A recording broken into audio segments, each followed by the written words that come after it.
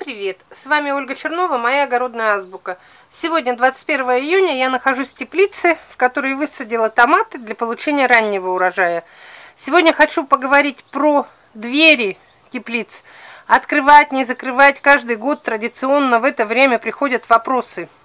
Но в этом году я даже не ответ на вопрос, а просто прочитала комментарий Алексея, который пишет, что у меня в теплице у томатов желтеют листья, захожу утром, открываю теплицу, и меня вот это выражение «открываю теплицу» очень насторожило. Это значит, что двери теплицы у него на ночь закрытые.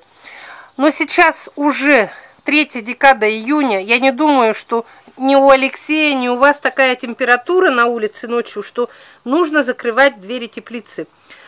Вот он пишет, что у него там, ну, как ткань, для того, чтобы конденсат не капал, конденсат на листья не попадает.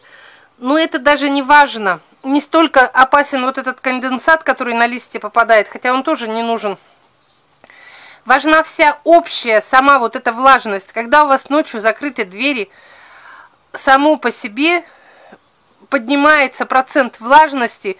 Томаты очень не любят влажность. Они не любят влажность сами по себе. Потом влажность вот эта повышенная, это прекрасная, такая комфортная, как ситуация для возникновения грибковых заболеваний. Поэтому многие-многие, спросите хоть у кого опытных огородников, летом все двери настежь. Как бы не было прохладно на улице, в теплице все равно теплее, чем в открытом грунте. И тут все равно у них будут создаваться комфортные условия, но проветривание – нужно обязательно. Потому что, когда жарко и влажно, вот он вам будет кладоспориоз, будет фитоспороз, потому что это вот все вот эта влажность повышенная, она не нужна томатам. Огурцы любят повышенную влажность, наши томаты нет.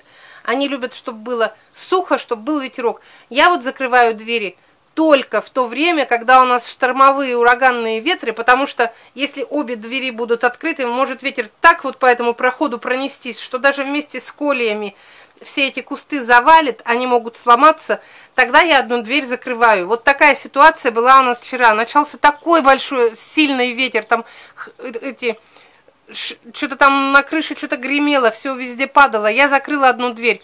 Но в результате даже одна дверь была закрыта. В результате я сегодня пришла и вижу, что вот мельчайший вот эти конденсат на теплице уже скопился. Значит, уже ночью здесь поднялась влажность только из-за одной закрытой двери. А если вы закроете обе двери, тут будет вообще неприемлемая ситуация – я, конечно, не могу вас, вас призвать всех, вот не закрывайте двери, смотрите, конечно, по ситуации. Но если у вас не очень холодно, если так, ночью и должно быть прохладно, если у вас такая температура приемлемая, то лучше всего летом двери не закрывать вообще. Вот у меня они открыты, железкой подперто, и на все лето, все, до наступления холодов. Тут проветривается, сухо, тут хорошо.